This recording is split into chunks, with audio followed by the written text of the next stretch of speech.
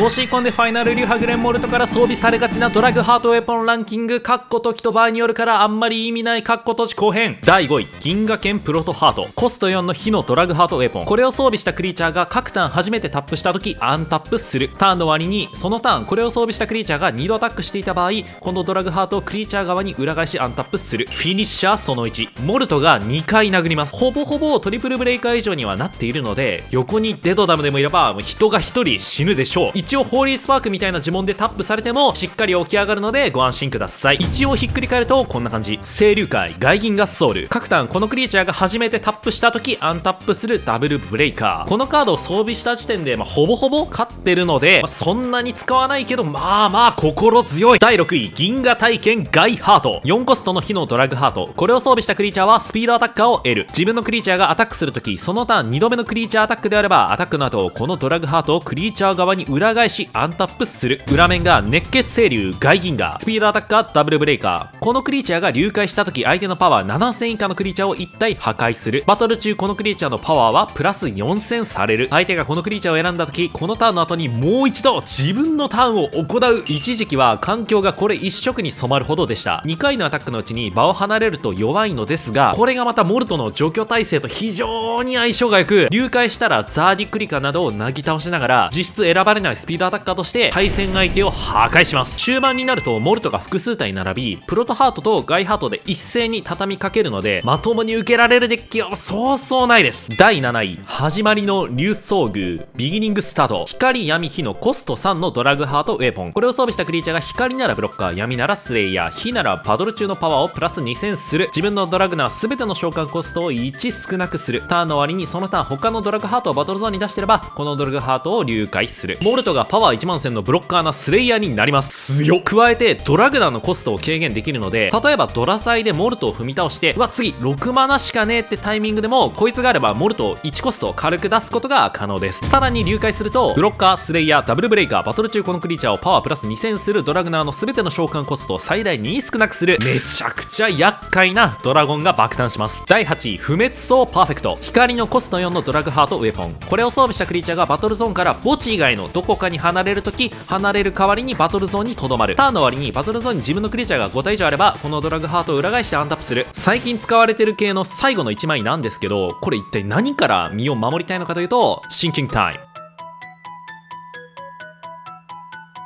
そうみんな大好きカツキングですね。モルトプラス他のドラグハートで場にあっても結局カツキングからドギラゴンの場に革命チェンジされると結果的に2回場を離れて処理されちゃうんですよね。そこでこのパーフェクトならカツキングのバウンス効果を無効化できるので仮にドギラゴン系にどつかれてもパーフェクトを剥がして場にとどまらせることが可能というわけです。最初見た時びっくりしましたねこれ。素晴らしいですね。逆に言うとそれくらいなのでカツキングが少ない環境になったら抜いて別のカードに。なんだよカツキングが少ない環境って。しばらくねえよそんんなもん。まあ今なら入れておいて損はないでしょう。ちなみに裏返るとブロッカートリプルブレイカー自分の光のドラゴンがバトルゾーンから墓地以外のどこかに離れるとき代わりに場にとどまる。自分のブロッカーを持つクリーチャーのアタックできない能力を無効にする。ただ召喚用意は無効にならないよまあ似たような効果ですね。えという感じで自分がメインで使っていた8枚から紹介させていただきました。ドラッグハートウェポンですがあのこんなもんじゃないのでまだまだたくさんあるので気になる方は公式サイトから全部見れますので調べてみてください。ファイナル流派グレンモルトに関しては昨日と今日の動画で90%は網羅できたかと思います。参考になりましたらチャンネル登録と高評価の方よろしくお願いします。それでは。